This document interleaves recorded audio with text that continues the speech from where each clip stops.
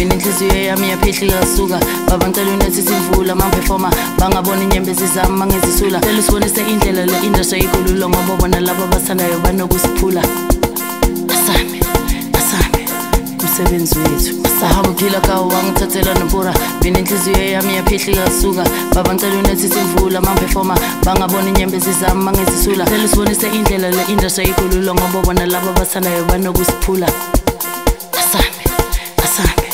Umsebenzi wethu.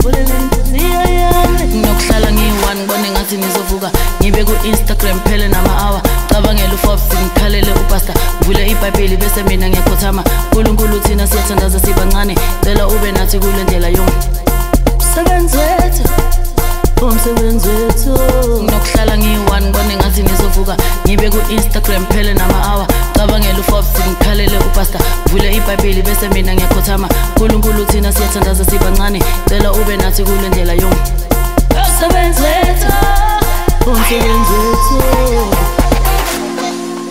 ngiphulela inhliziyo yami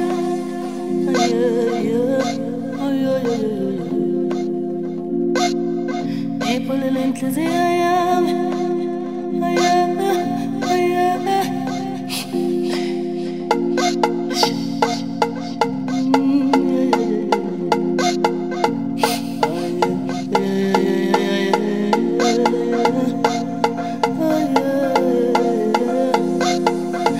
brilliant cause here I.